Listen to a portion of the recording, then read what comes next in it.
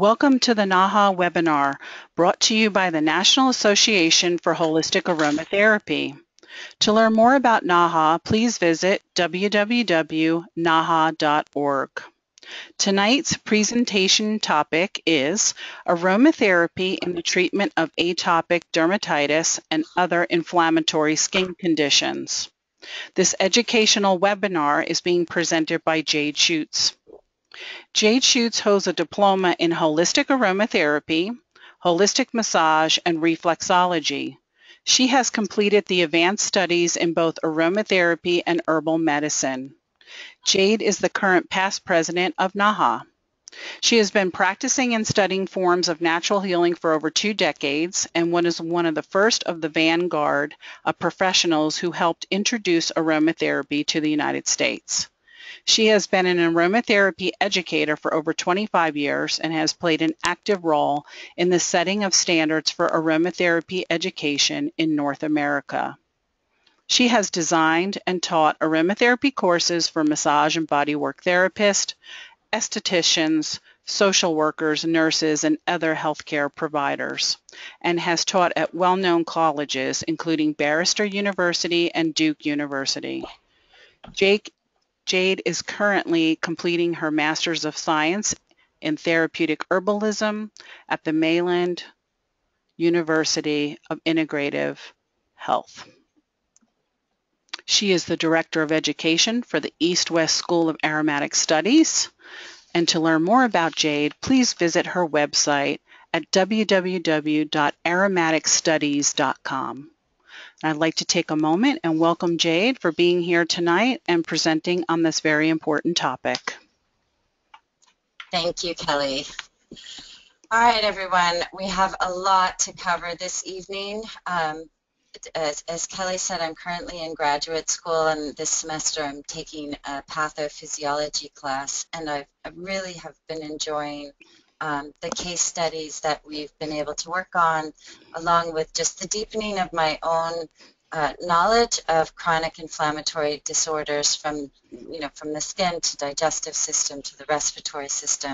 And I hope that this at least sheds some light on some of the benefits aromatherapy can have in treating um, conditions such as atopic dermatitis and other inflammatory skin conditions.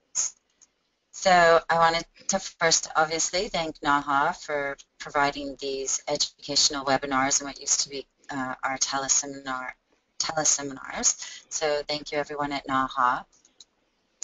And then I just wanted to kind of touch base on our role as a aromatherapist because sometimes I, I think I perceive um, that uh, aromatherapy is often seen as like a, a, curative substance, like it's going to cure conditions. And sometimes it can, say in um, using essential oils in the treatment of bacterial uh, respiratory infection. You know, essential oils uh, kill the bacteria, so in a way it provides a cure most of the time, essential oils are going to serve as either supportive, like a supportive role to other aspects of our wellness from exercise and diet. Um, and then sometimes, you know, they're just there to support our emotional health and well-being. So, and then sometimes the kind of purpose of my bringing this up is that essential oils play a role in easing symptoms of specific conditions. So it doesn't mean, you know, we use essential oils for eczema and psoriasis and some of the other uh, chronic inflammatory diseases, and we cure them so much as we are able to help assist keeping them um, either in remission or reducing the severity or uh, length of, of the exacerbation um, or simply in, in, in earlier stages, potentially even prevent uh, ongoing episodes. So we'll get to all of that. But basically just to acknowledge that it's not always about curing an illness. Sometimes it's about how do we um, either affect emotional well-being or reduce symptoms.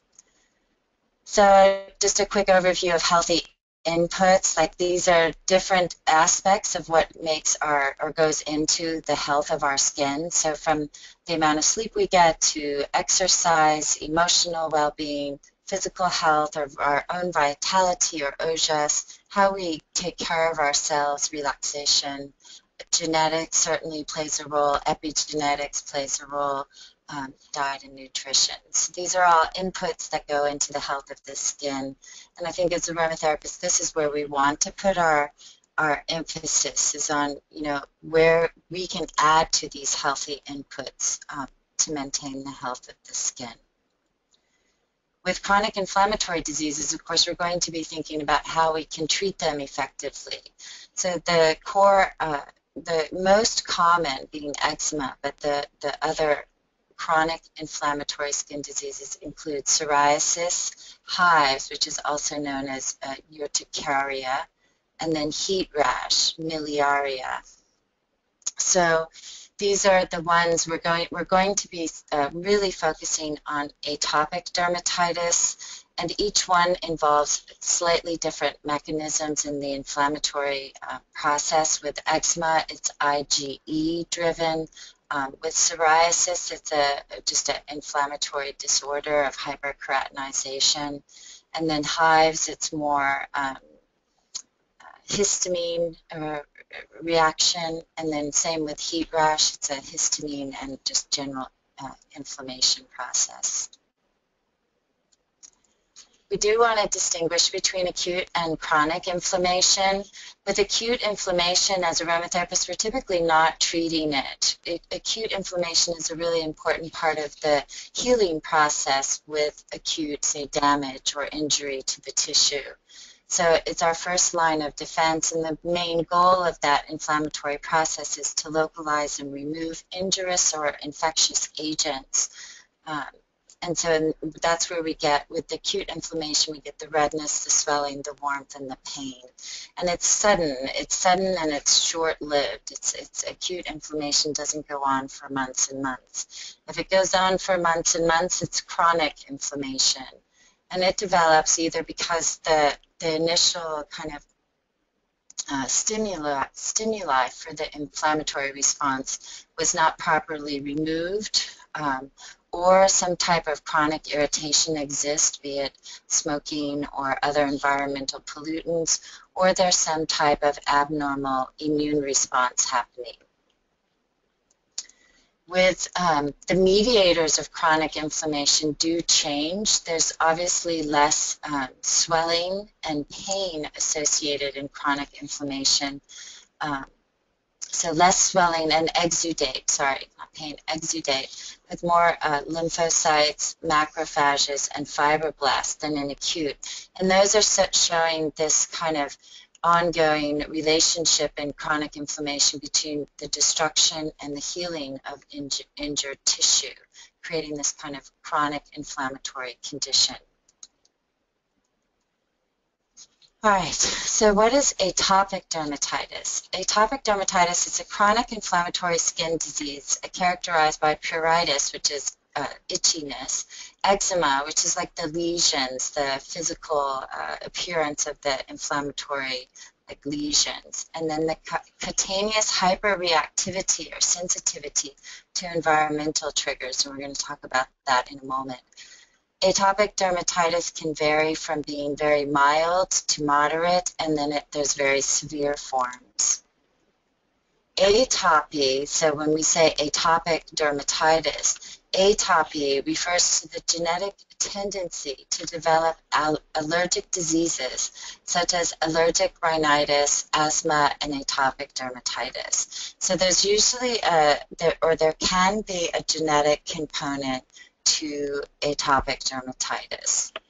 And it's typically associated with heightened immune responses to common allergens, especially inhaled allergens and food allergens. This is one thing as I was doing research was the most emphasized is the um, environmental allergens must be removed. I mean, it's a, just a really important part of the treatment. You know, they, they need to be discovered and then as much as possible removed or reduced. So just some um, statistics on atopic dermatitis. The prevalence, it occurs 10 to 20% in children. So the largest group of individuals suffering from atopic dermatitis are actually children under the age of five. Um, and then within that group, uh, 60% of those children are under the age of two. And then it, it occurs approximately 1 to 3% in adults. 50% of children who experience early, basically, which is the most common, uh, either infant or uh, child, uh, atopic dermatitis, they will experience complete clearance by the age of 13. And then 50% will experience some type of recurrence um, in adolescence as well as adulthood. So, and they'll go through these periods of remission and then exacerbation. So this is where, you know, some of that, that exacerbation can come from some of the factors that trigger, which we'll talk about, um, atopic dermatitis. Some of this group, so the 50% that uh, experience recurrence as adolescents and adults, uh, will also go on to do what's called the atopic march, and we'll, we'll cover that in just a minute. So adult onset occurs um, as well, and it, it occurs without prior history of atopic dermatitis as a child. Then family history, we've, we've mentioned a moment ago, may include one or more of the following. So this is someone in the individual's family um, may have had one of these allergies, eczema, allergic rhinitis, um, or some other type of, of allergy-based disorder. Areas involved as well as the appearance of eczema will change based upon age. And this we have here patterns for atopic eczema. So with an infant, we usually get these facial lesions and then some patchy um, sections on other parts of the body. A lot of times it will be near the fold or um, same with the older child, we get more of the extremities and the feet and the hands, and then patches in the folds. And then adults, we can get hand and foot uh, uh, dermatitis, and then these patches. And it, again, it can range from very mild to severe. The appearance in infants, the um, pruritic, the itchy lesions will be moist, red, and vesicular. So there'll be lesions that will uh, have some type of fluid within it, and then it will be covered with crust. With teenager and adult, it's a dry scaling with lichen, lichenification, which is a thickening of the skin. It produces these kind of leather, leathery-like patches. It may be moist and red, um, particularly in the skin folds. And then pruritus is common, so there will be itching. I mean, itch, itchiness is like the hallmark of acute dermatitis or atopic dermatitis. This is a picture of a more severe dermatitis. So you can see they have scratched quite a bit as well. It's from Wikipedia. And this is what I referred to earlier as the atopic march. So some individuals who experience a, uh, atop, atopic dermatitis will go on to develop allergic, allergic asthma uh, or and or allergic rhinitis, which is hay fever. So and you can see just from this chart, you know, we'll start with the eczema. I mean, it's almost like they're, they're co-occurring uh, with food allergy, asthma, and then a little later on, rhinitis, hay fever. So in an article I was reading, they were saying that um, this early eczema food allergy awareness can possibly be used to prevent the respiratory allergy from occurring. Not sure how to do that, but I thought it was interesting. All right. And then features. So pruritus is it, like the itchiness. That's actually the one of the first things to happen. So we itch, and then we break. You know, rash appears. We have experiences of exacerbations with periods of uh, remission, the dryness, this is a, actually a core, like kind of signature that something's happened with the skin's barrier function, dryness, and if it can be extreme, like where it looks like xerosis. And then it's an IgE dominant uh, inflammatory disorder. It's, there's at least 50% are IgE dominant, and then there's some variables as well that happens. I wanted to put this slide in. This isn't in the PDF, but I, I was kind of just flipping through very quickly before this webinar. it's been so excessive with the information, so hopefully it's not too much. But this is actually from um, Benzula and uh, Buck's book.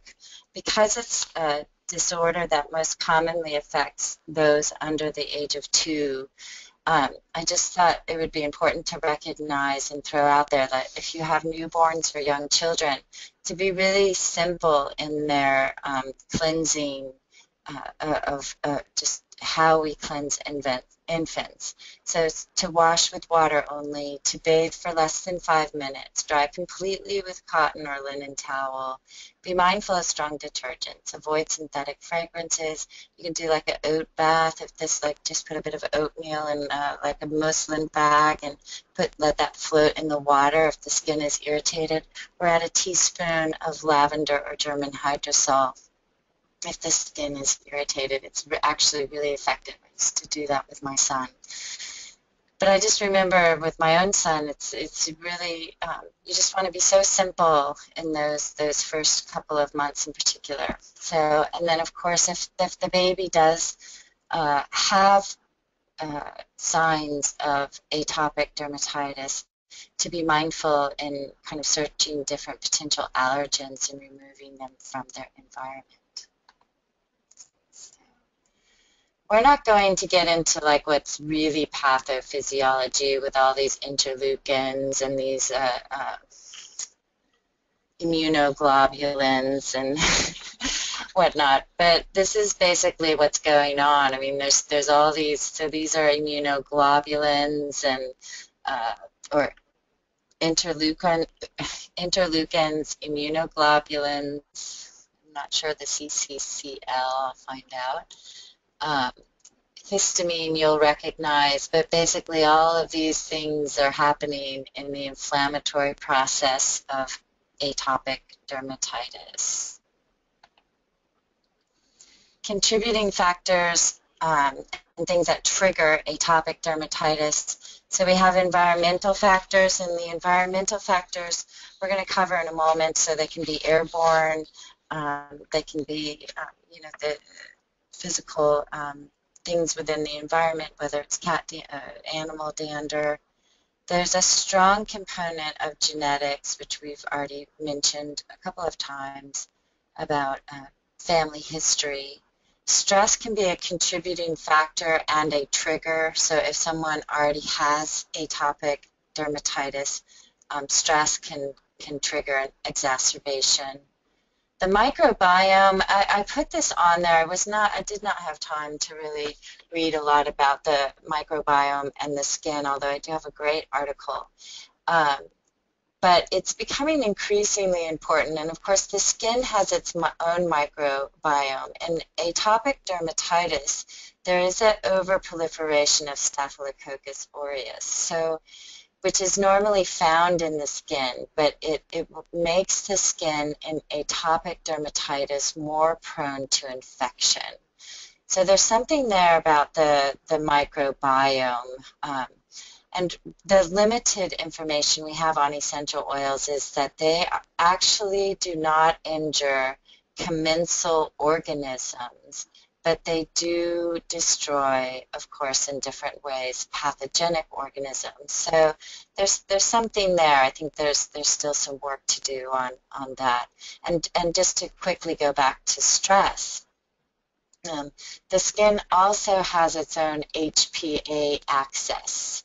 So it's it's another place where where we respond to the level of stress and it's reflected in our skin. So both of those I think are really important and places where essential oils can be beneficial.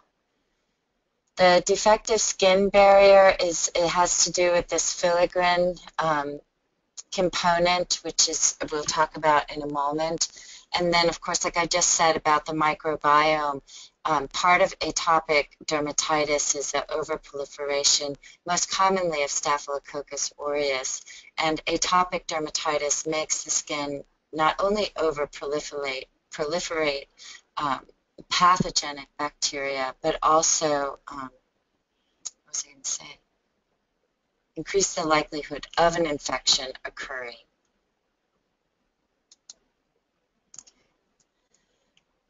The most common triggers are aeroallergens, um, house dust mites, pollen, food allergies, changes in physical environment, so uh, including the level of uh, pollution and humidity, microbial infection, stress, other irritants. All of these triggers lead to itching, crazy, crazy itching.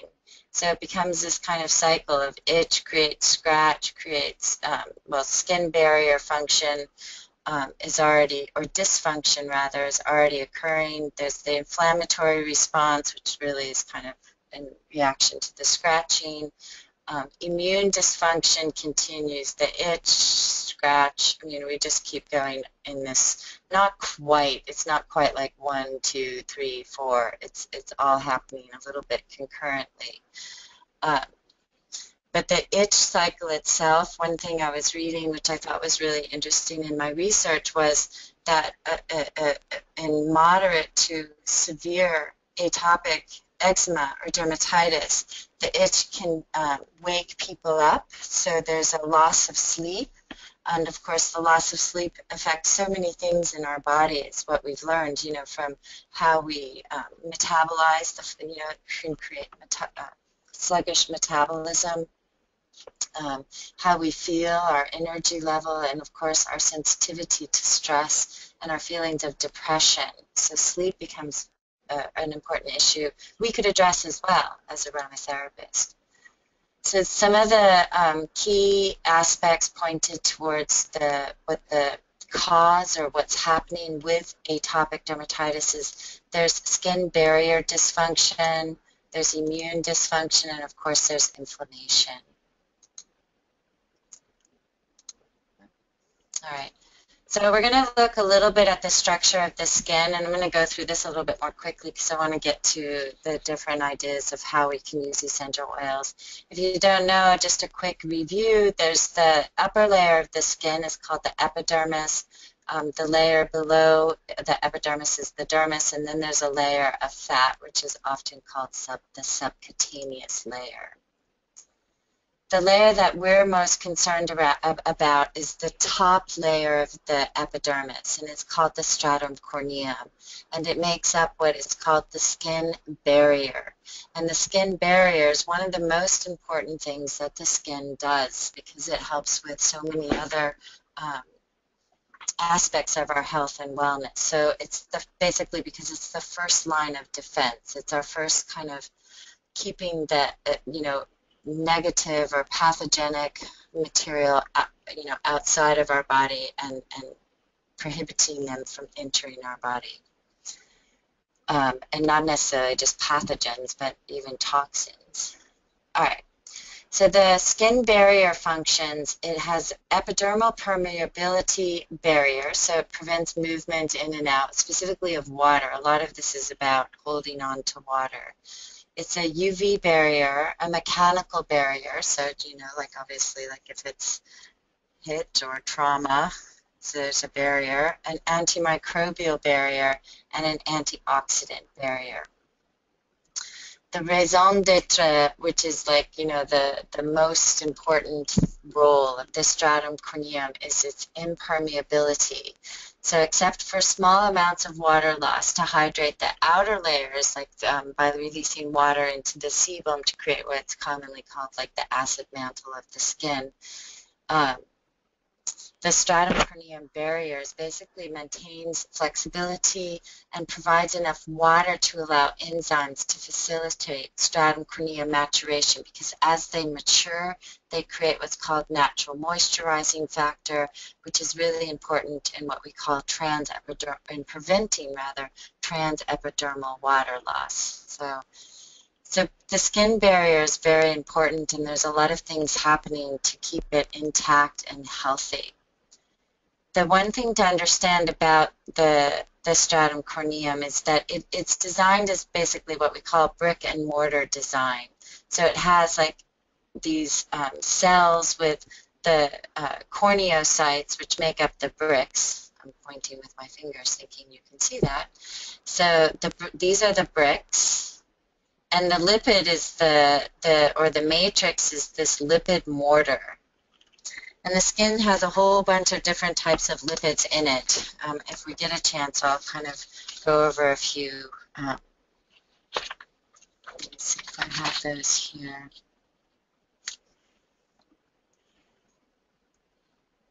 Yeah. All right. So I'll just keep going. So it's this brick and mortar design. Let's see, let me just. Right. The principal lipids found in the stratum corneum include ceramides, uh, cholesterol, fatty acid, and fatty acids. And it's this mortar, mortar of lipids that prevents water loss through the stratum corneum. It's like our skin has to have enough water or moisture to be healthy. And how we lose water is either by A, not taking it internally, or and or B, by um, uh, like like using harsh detergents on our skin or uh, uh, other, like even synthetic fragrances, I believe, cause some damage to the skin. So, so it's basically just using uh, products that we use in aromatherapy that complement the the matrix, both the fatty acid um, matrix as well as the water. So we can use like creams and lotions, and we'll get to that actually. So here's the components I just mentioned, ceramides, cholesterol, fatty acids, other components. We're not going to get too much into why any of these are important right now other than that they play an important role in the barrier function. So what we can see here is in the normal barrier function, we have this really nice healthy kind of stratum corneum. It has this natural moisturizing factor let me actually just go over. So what we call the natural moisturizing factor, um, it's basically a collection of water-soluble compounds such as free amino acids, urea, lactic acid, sugars, and peptides that are only found in this layer, the stratum corneum. And they're responsible for keeping the skin moist and pliable by attracting and holding water. So again, water, water. This is where we have like really great hydrosols to use. The lipids serve to prevent water loss from occurring in the natural um, moisturizing factor. When the skin loses too much water, there's signs of what we call xerosis, which is abnormal dryness of the skin. And so, and, and the in eczema or atopic dermatitis, that's what's happening. We're getting this kind of breaking up of um, the uh, stratum corneum cells. The NMF is, is reduced and then you're getting these cracks in between the cells so that the lipid matrix is being distorted as well. And an important one fatty acid that will be really important to use in the treatment of atomic, atopic dermatitis is uh, uh, vegetable oils that are rich in linoleic acid, which would be like borage seed and I believe rosehip as well. I do want to put this in because I came across this really interesting article about Rose Absolute, um, and it had to do with the, one of the genetic defects um, considered to be responsible uh, for uh, the creation of atopic dermatitis is called filaggrin, filaggrin and it's essential for the regulation of epidermal homeostasis, and it aggregates the keratin cytoskeleton to facilitate the flattening of the keratinocytes. So basically what that's saying is that the filaggrin is very important in what we call keratinized or keratinite, keratino, keratinocyte differentiation. And as they flatten, it's through that process that creates those lipids that are so important in the um, natural moisturizing factor and to prevent transepidermal water loss. So when they're when it's decreased, um, it causes a, decrease, a reduction in hydration and an increased epidermal water, so the water loss, which means the skin's losing water. And this is happening with atopic dermatitis. And so there's been research, there's just one paper that I found um, that rose absolute, and the species was not specified in the paper, enhanced keratinocyte, keratinocyte differentiation. Again, it, that helps to create those lipids in the um, kind of uh, brick and mortar design of the stratum corneum. It increases levels of filaggrin, which so again it helps trigger that keratinization process and it accelerated the recovery of a disturbed fun uh, barrier function. Now, I do need to add that this, this test was done using mice, but in aromatherapy, we still refer to some animal studies to get our um, understanding of how an essential oil might be acting. So I don't agree with it, but it's research. Okay, and then so with aromatherapy for atopic dermatitis, there's several ways we want to consider how we approach any individual client. So we want to be mindful of skin hydration and barrier repair. So we'll talk about that in a moment with different essential oils, uh, vegetable oils, and uh, herbal products. Topical anti-inflammatory, so we'll talk about anti-inflammatory uh, control or elimination of infection, that's going to be a secondary to this topic. I'm not, I'm not going to go too much into actually treating infections that might occur um, from scratching the skin and um, through that reduced immune function, but it will be listed as a top uh, therapeutic action to consider. And then elimination of exacerbating factors. It's as much up to us as, uh, as aromatherapists to help clients, friends, families to find uh, potential sources for what might be causing or contributing to atopic dermatitis. Therapeutic actions we are looking at when we want to like, kind of think about which essential oils or hydrosols, et cetera, we would want to use. So we're certainly looking for antioxidant. I'm getting a sense we can't really use too many antioxidants in today's world, um, both internally and externally. Anti-inflammatory, and you know this also sometimes referred to as antiphlogistic, antihistamine, antipruritic. So anti being against, you know, it's like against oxidation, against inflammation, against histamine, against itching. So it's to stop, to stop those from occurring. Or um, and then emollients. These are things that soften and soothe the skin. Essential oils aren't really emollient at all. So we need to focus on vegetable oils, herbal oils, specialty oils, creams, and lotions to provide the skin with um, emollient. So given that during atopic dermatitis there's a lot of dryness that can trigger, you know, a, a atopic dermatitis, we want to be using quite a lot of emollients um, when we can. Usually that's that tends to be when it's in a subacute um, or in, in a remission state versus if it's in an acute phase um, or exacerbation. We'd want to focus on what's next, which are your cooling substances such as gels, um, specifically aloe vera gel-based uh, products.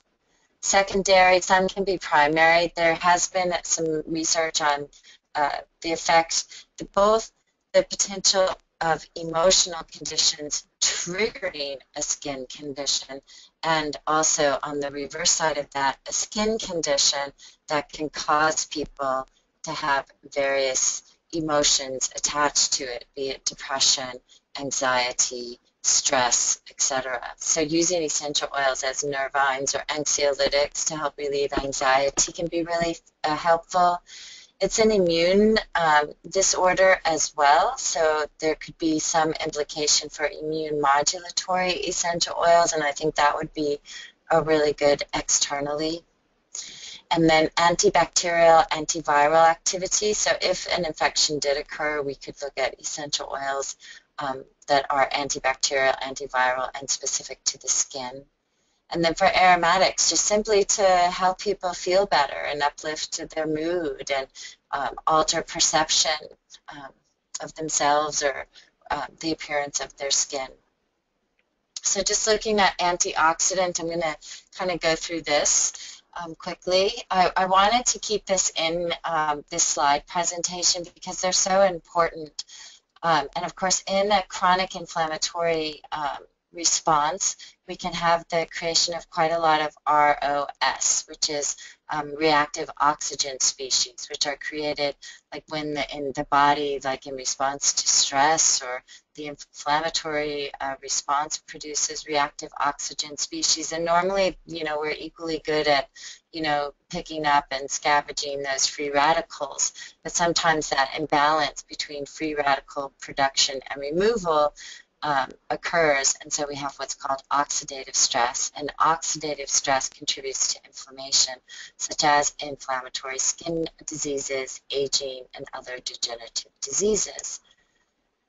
So we have um, the antioxidant activity of essential oils is perhaps one of the most important biological activities attributed to essential oils. And from Jennifer Peace Rhind, she says it is at the the root of many other properties, including their anti-inflammatory and pain-relieving action. So, and then I made a note as well as for their anti-carcinogenic and anti-aging potential.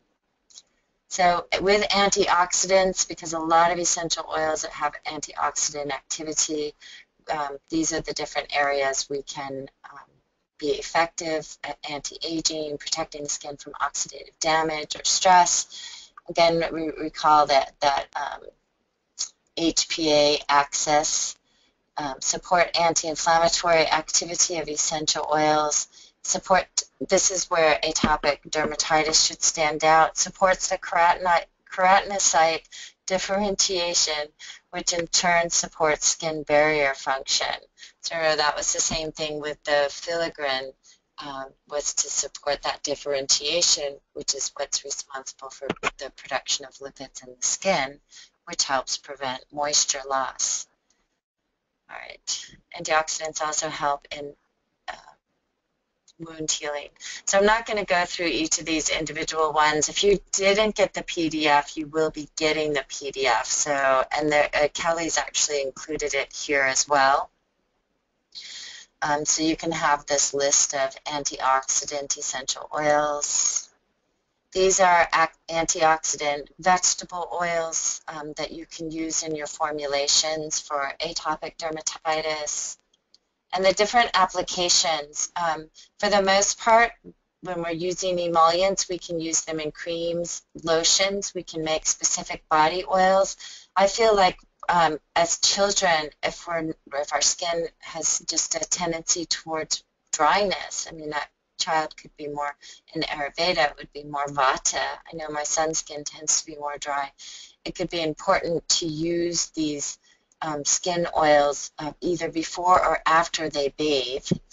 Depends on what kind of bath you have. Um, we have a closet tub. I'd be paranoid my son would like stumble and fall if I put oil in there before. So I put it on afterwards. And the main rule would be to um, prevent the skin from drying out because taking baths can actually, unfortunately, be rather dehydrating to the skin. So either before or after bathing or showering is a good idea to use skin oils. And then the salves are really great emollients as well. The dilution we'll use is anywhere from 1 to 5% of antioxidants. All right, anti-inflammatory. So I'm not going to get too much into this because I see it's already like 9:15. So, um, so, but I'll say just this. I think one of my goals tonight was just to draw our attention to how essential oils do anything that they do. So specifically um, with the anti-inflammatory aspect to essential oils, we have these uh, uh, uh, what we call uh, chemical mediators of the inflammatory process in our body. And essential oils can actually increase or decrease the formation of inflammatory mediators.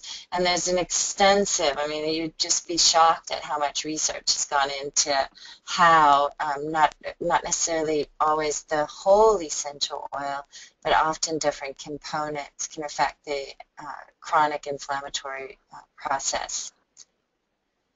All right, it can suppress activity of specific enzymes, specifically what's called um, uh, COX-2. And COX-2 is just an enzyme that's responsible for inflammation um, and also part of the pain. Um, 5-LOX and uh, phospholipase A. We're not going to get into all of that. I have my whole list of different substances, but we'll we'll review that, I think, in an advanced class. Um, it can also suppress histamine release and cytokine production. So, and, and cytokines, if, if, if, I'm sure you're more familiar with histamine, but cytokines are basically important in the uh, cell signaling. They're released by different cells and they affect the behavior of other cells. So they're sending kind of like messengers. So basically, with essential oils in our body, it's a form of molecular communication or chemical chemical communication. So specifically here we have how um, alpha bisabolol, which is a, a component found in um, German chamomile, Matricaria recutita, that uh, down regulates, basically reduces pro-inflammatory uh, mediators. So, so, and by doing so, reduces the inflammation. So, and, and do remember, this isn't something we want when someone's going through an acute inflammatory response, which is really important. It's an important part of the healing process. But with these chronic inflammatory conditions, which are on the rise, um, this, this, this is where we want to be using these types of substances. And then inhibition of NO production. This is an area, quite a number of essential oils can in, inhibit what's basically called, it's nitric oxide or NO, NO. It's a signaling molecule that plays a key role in the pathogenesis of inflammation. So it gives an anti-inflammatory effect under normal physiological conditions, but then it becomes a pro-inflammatory mediator that induces inflammation to overproduce in abnormal situations, such as atopic dermatitis. So many essential oils inhibit this from occurring, inhibit this pro-inflammatory um, state from occurring. And we'll, we'll be going over those essential oils. So these are just uh, other ways that essential oils have molecular communication with cells in our body. So we have inhibits 5-lipoxy oxygenase, sorry, that tongue tie. Um, and this, this component actually converts essential fatty acids in, into leukotrienes, which are pro-inflammatory mediators.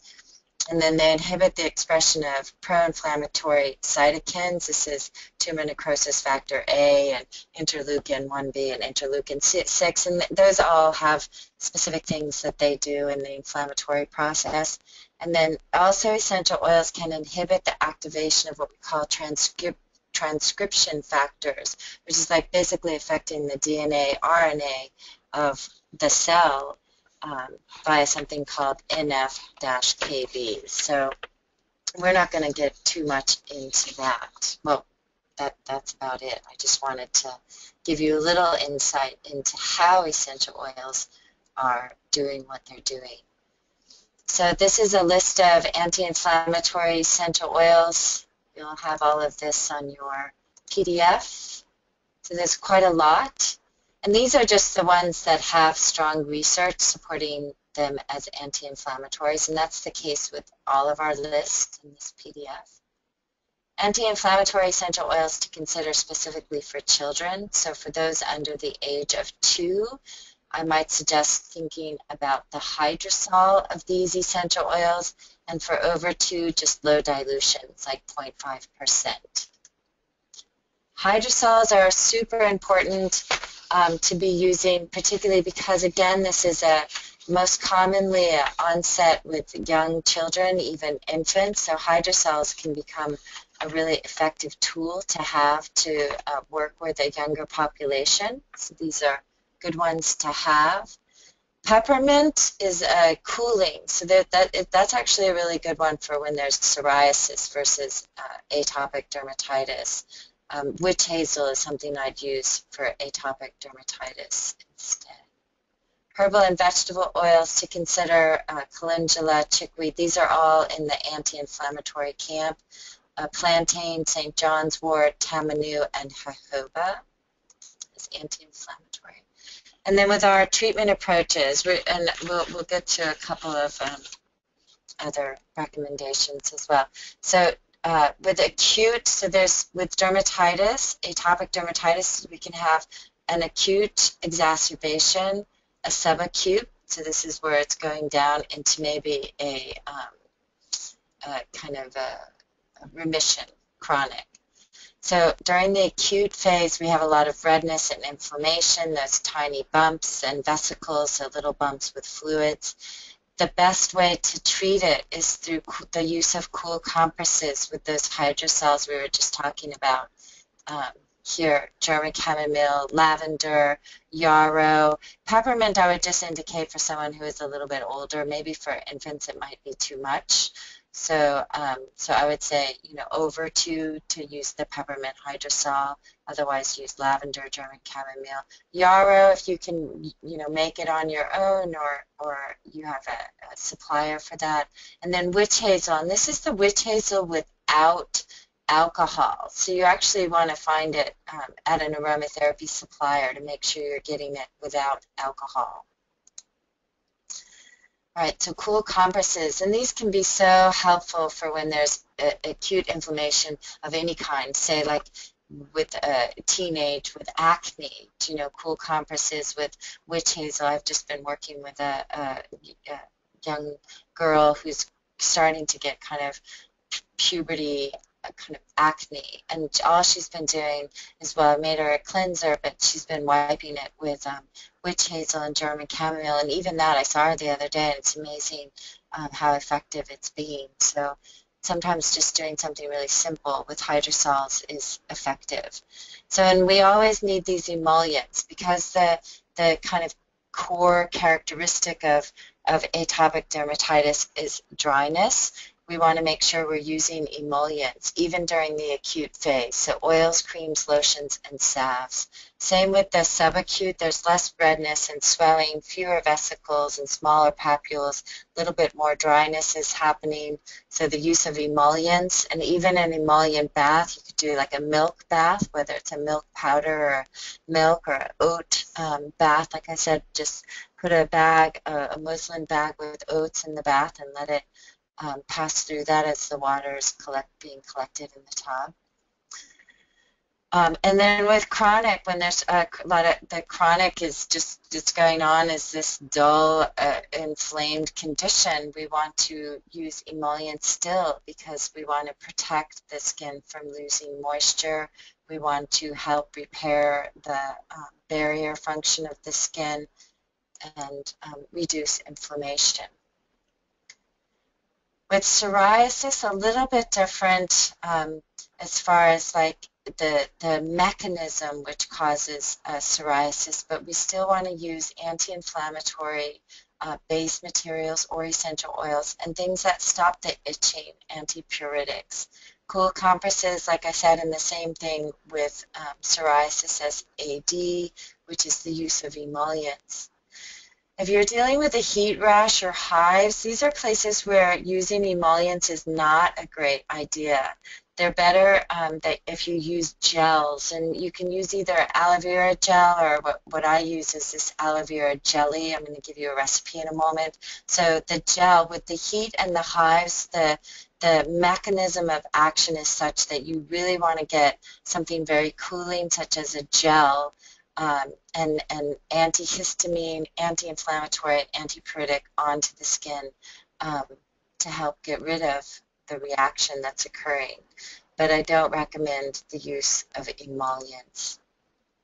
So antipruritics, they um, help relieve skin. They tend to have an antihistamine action. Uh, causes of itchiness, we're specifically looking at itchiness caused by the cycle of eczema. And with essential oils that are uh, have been found to have antihistamine activity, we have German chamomile, Matricaria recutita, lavender, tea tree, and turmeric. With the antipruritics, there's less as far as studies go, um, but Matricaria recutita is probably the most pronounced. I will say here too, there's uh, great research um, that came out years ago actually on German chamomile essential oil. It was used in a gel base, and it was found that the skin, basically more water was absorbed into the skin in the gel that had German chamomile in it than gels that either had no essential oil or had other essential oil. So Matricaria uh, recutita is indicated for a number of reasons. It's anti-inflammatory um, quality, anti, uh, and, as well as uh, and antihistamine. And then it's also helpful in um, having this helping the skin to absorb water placed on it. So creating a gel, say an aloe vera gel with uh, different hydrosols and then adding German chamomile essential oil along with a couple of other essential oils um, help not only reduce the inflammation but also aid water absorption. So it kind of plays a, a dual or kind of three roles.